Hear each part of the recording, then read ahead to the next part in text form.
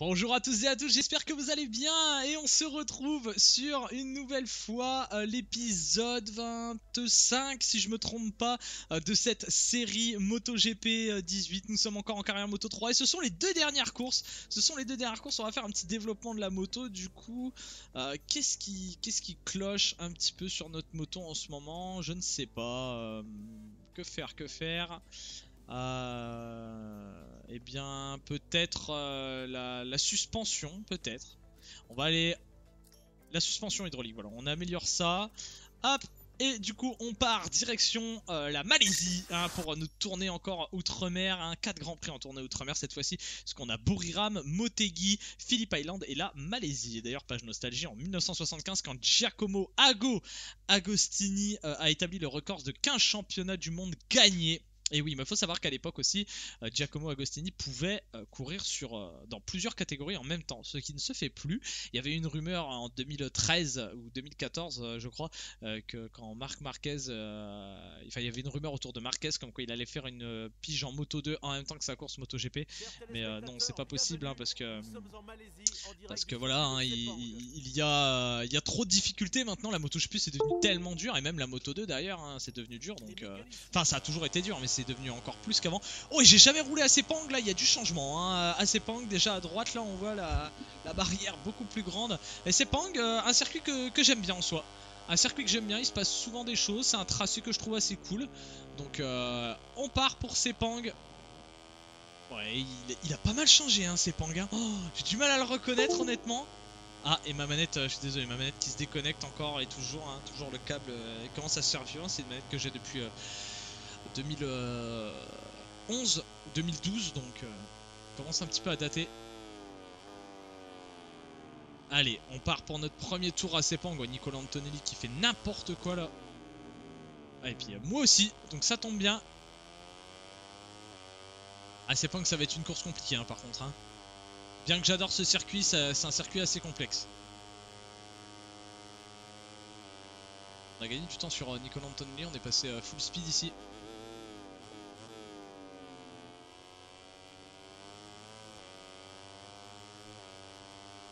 Allez, vers Nicolas Antonelli.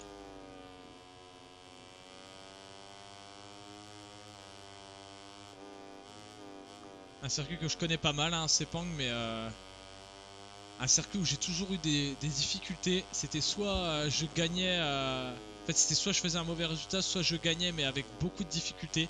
Ça n'a jamais été un circuit où, j'ai gagné haut la main et facilement. En moto 3 en tout cas.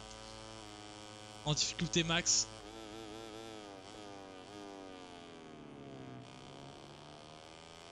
Allez, ça a l'air de bien se passer pour l'instant, notre premier tour. Si on compare à Nicolas Antonelli un petit peu. Et où Antonelli Il est pas loin derrière nous d'ailleurs, il est très bien ressorti, il va nous passer je pense même.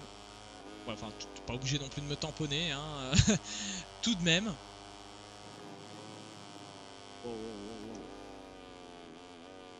Allez, Anthony qui va sûrement passer. Suivant comment on ressort, on va peut-être prendre son aspiration. Bah, on pourra pas beaucoup la prendre. On va voir un petit peu la puissance de sa Honda comparée à la mienne. La sienne a légèrement plus de patates. hein.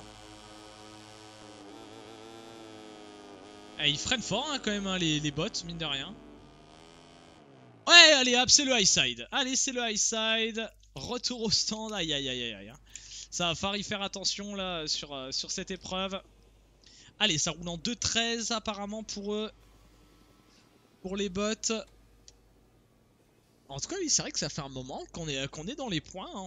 On, est, on est solide. hein. Bon, même si tous les bots sont. Enfin, les 15 premiers sont quasiment toujours dans les points à chaque fois, vu qu'il n'y a, a jamais de chute dans ce jeu très bien codé.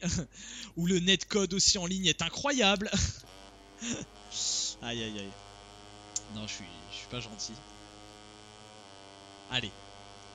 2.12 872 pour euh, Aaron Canet. On va essayer d'aller chercher. Piste abrasive, hein, euh, je pense, euh, Sepang. Un beau circuit tout de même. Circuit de Malaisie. D'ailleurs, on- Ne faites pas l'erreur, j'entends souvent cette erreur. Affiche le pilote malaisien. Non, c'est un pilote malais. Pas malaisien, mais, euh, malais pour parler des, habitants de la Malaisie. Erreur donc à, oublier. Alors ici, je pense que un réglage moto serait bien pour passer mieux ici. Tout qu'en plus, là, ça va complètement me blinder mon, mon T1. Voilà, une seconde 10 de retard, forcément.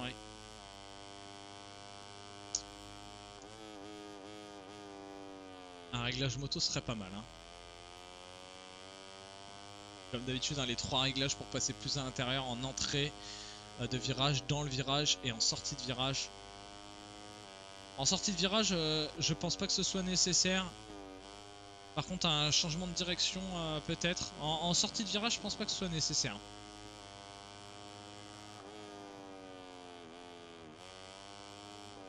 On a bien négocié ST2. Honnêtement, on a pris beaucoup, beaucoup de temps sur ST2. On a repris 7 dixièmes. On modifiera notre moto pour euh, faire notre dernier tour chrono juste après.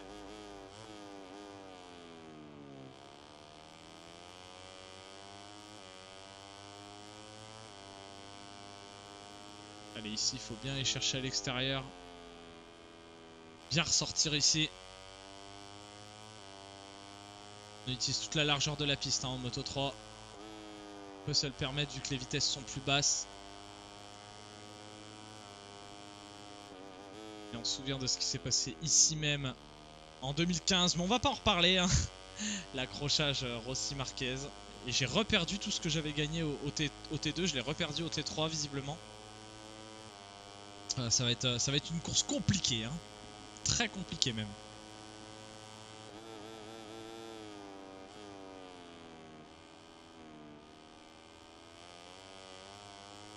Allez, on va en finir avec ce, tour chrono.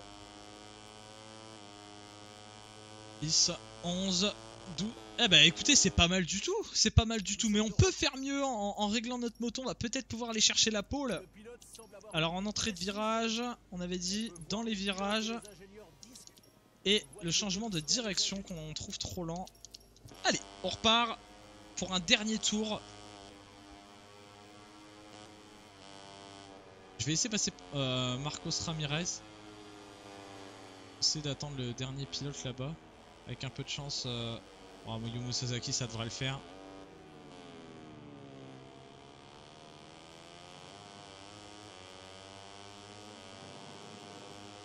Je vais balayer un petit peu voilà, pour perdre du temps. Voilà, comme ça, je vais voir un petit peu où eux ils freinent en. Eux euh, ils freinent à la. Au premier virage. Ok, donc entre les deux panneaux ici.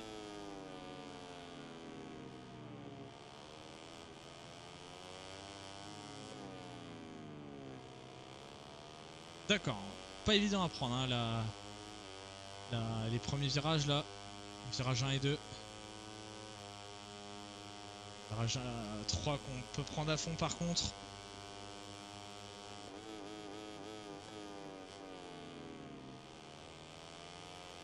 Sort large là. tournons valide, aïe aïe aïe, aïe aïe aïe, bah c'est tout, hein, c'est comme ça. Tournons valide, on est sorti trop large. Bon bah écoutez, au moins on fait euh, une troisième place. Et ça c'est pas mal, c'est pas mal, hein, on a usé nos trois tours. Euh, ah bah non, une sixième place, ça a un peu descendu, mais bon. On sait que, on sait que les réglages qu'on a fait euh, semblaient assez prometteurs, donc... Circuit international de Sepang, 10 virages à droite, 5 à gauche, 5,548 548 km au total, dont une ligne droite d'environ 1 km.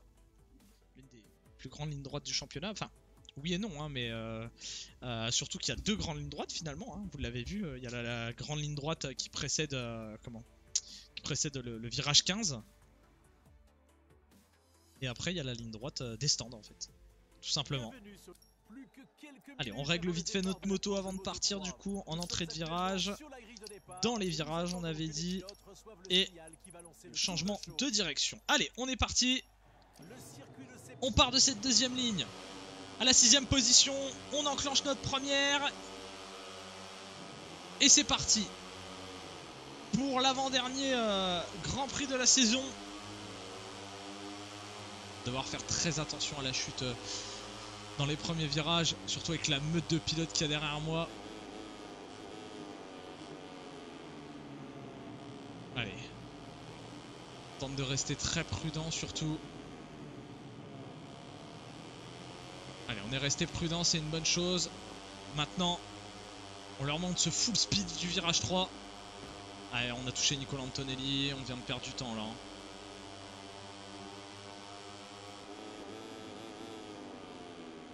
Allez, j'ai pas pu passer entre les deux. Un petit peu large, mais euh, c'est bon, ça passe.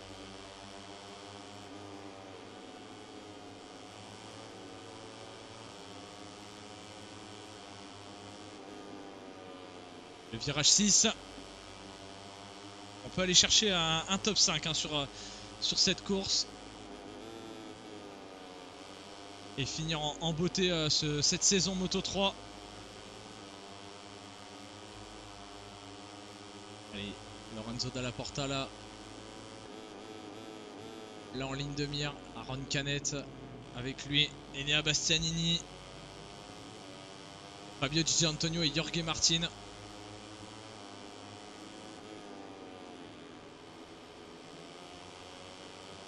Compliqué. Hein. Là, le, T3, on sait qu'au T3, on perd, euh, on perd beaucoup de temps.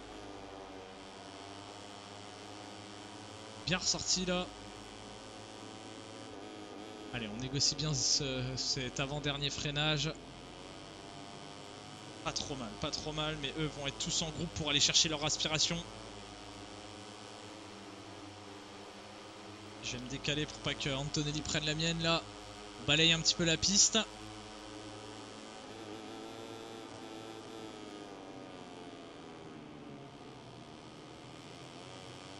C'est passé en force alors, hein, Fabio Di Antonio là qui perd tes positions. D'ailleurs, je vais prendre l'aspiration sur lui, Fabio Di Antonio.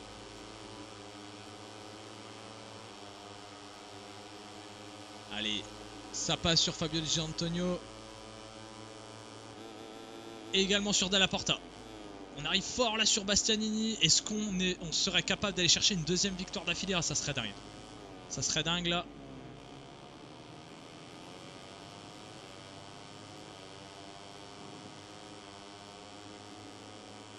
Allez, le full speed ici même. On sait qu'on prend beaucoup de temps.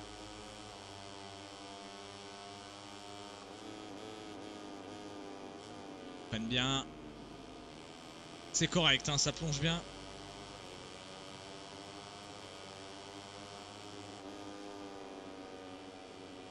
Virage 5. Est-ce qu'on va pouvoir aller rechercher une nouvelle fois une victoire? La deuxième d'affilée, la troisième de la saison, c'est pas impossible. Après on sera à Valence, un circuit que j'adore aussi. Un circuit pas, évident hein, Valence, hein, honnêtement. Euh. Petit circuit Valence, très petit circuit par contre si euh, vous voulez aller voir un circuit où vous avez envie de voir la quasi-totalité de la piste, je vous conseille Valence. Hein, en termes de vue, sûrement le meilleur circuit euh, du championnat. C'est Valence, c'est un peu une arène si vous voulez. Vous avez vu sur quasi tout le circuit, qu'importe où vous êtes sur le circuit, quasiment. Hein. Par exemple dans la tribune jaune, si vous regardez les plans, tribune jaune ou tribune bleue, là vous avez une très bonne vue. Croyez-moi, allez. on arrive fort là. On est loin sur Enea Bastianini pour l'instant. Allez, on balaye. Je veux pas que Lorenzo Della Porta prenne. Euh, aïe, aïe, bah, Fabio Di Antonio, lui, par contre, n'a pas hésité. On va essayer de gêner un petit peu. Non, c'est pas passé. Aspiration sur DJ Antonio.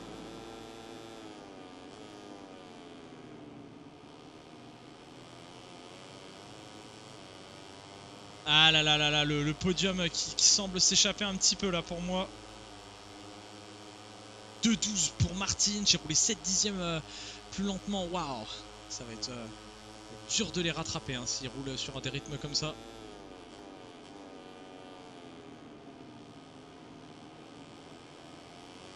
Allez. Aida Bastiani en, en, point de mire. Le full speed du virage 3 en espérant qu'il nous fasse gagner beaucoup de vitesse. Ah, ça nous en fait gagner, mais euh, pas suffisamment pour, euh, pour porter une quelconque attaque au virage 4.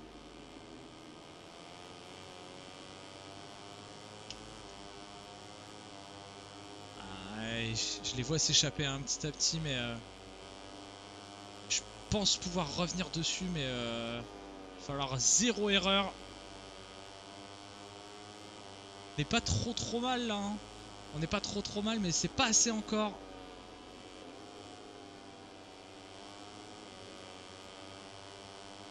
Et Enea Bastianini on a presque son aspiration, hein, franchement.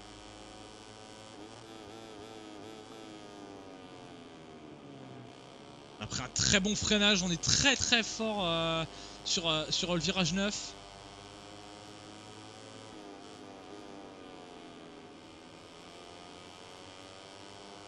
Ah, par contre là je suis très mal ressorti, enfin j'ai mal pris mon, virage, je suis bien ressorti hein, de la façon dont j'ai pris mon virage mais j'ai mal pris le virage donc... Euh,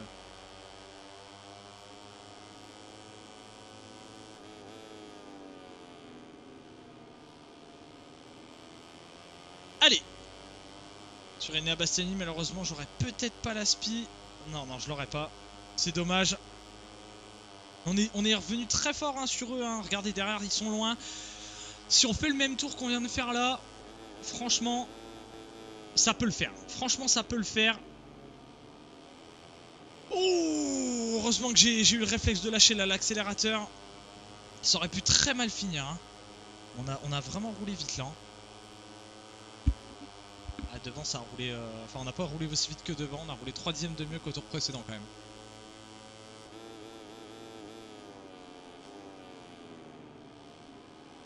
Allez, sur Enea Bastianini là. Au moins aller chercher un podium, hein, ça serait, serait une bonne chose. sort de virage 2. On attaque le virage 3 à fond, comme toujours.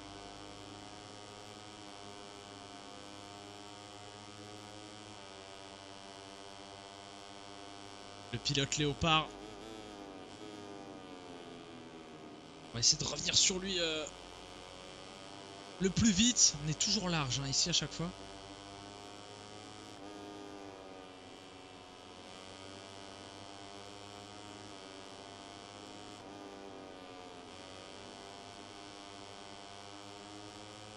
Vraiment pas loin d'Enea Bastianini.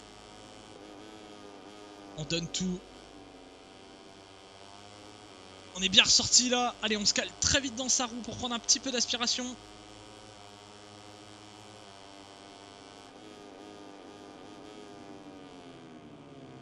Et ça passe sur Enea Bastianini. Ah, ça aurait été bien de pouvoir aller chercher aussi euh, Aaron Canet et Jorge Martin. Ah, déjà, j'ai mal pris euh, ce virage là, donc euh, ça va être compliqué. On n'est pas loin hein, tout de même, on est vraiment pas loin. Ça aurait été vraiment fabuleux d'avoir une deuxième victoire d'affilée. On tente de gagner de l'espace de piste. Hein. Bien ressorti, on est bien ressorti Heureusement, ils, sont bien ressortis aussi. Puis la puissance de leur moto, la puissance de leur machine euh, comparée à la mienne, euh, ça, ça le fera pas. Donc une troisième place qui se dessine, un nouveau podium. Ah, je suis content là. Hein. Attention sur ce dernier virage reste très prudent sur ce dernier virage. Un tour supplémentaire et on aurait pu le faire. Mais voilà, une troisième place, un nouveau podium, yes, sous le soleil de Sepang, une piste où il fait toujours très très chaud. On prend la troisième place et on prend encore un peu de points au championnat. Et on n'est plus très loin là de Nicolo Antonelli. Et malheureusement c'est fini hein, pour, euh, pour euh, Fabio Di Gianantonio. Hein.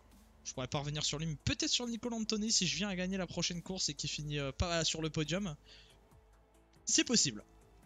En tout cas, euh, Jorge Martin, 407 points, qui champion du monde depuis, euh, depuis le début de la saison hein, finalement. Voilà, on est content, on est très content là. Yes, ça fait plaisir ce podium. Bah écoutez, je vous remercie d'avoir suivi cette vidéo. Je vous dis à la prochaine. Euh, je vous dis à la prochaine, je vous remercie beaucoup et on se retrouvera du coup pour le Grand Prix de Valence. N'oubliez pas de laisser un petit commentaire, euh, un like et de partager la vidéo si elle vous a plu. Allez, salut à tous et à la prochaine